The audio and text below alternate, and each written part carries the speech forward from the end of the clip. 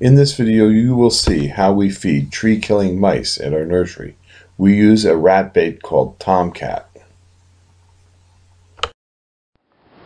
This is where we use our Tomcat. We put it inside these plastic tubes and it's covered so that no foxes or any other rodents other than mice and little moles and voles and rats can get in there and eat it.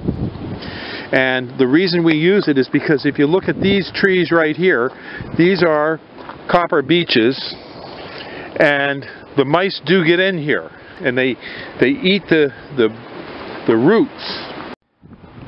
We put about one cup of rat bait in each of these tubes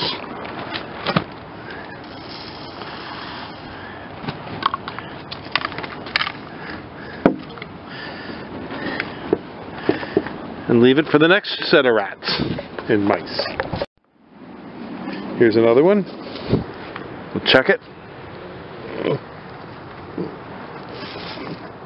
Still good. You can hear there's rat bait in it.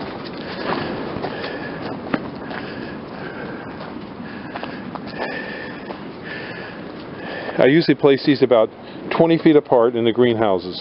Here's another one.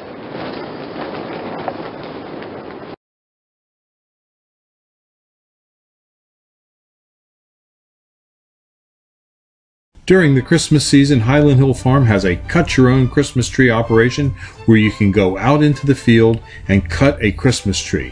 We also have pre-cut trees in our yard as well.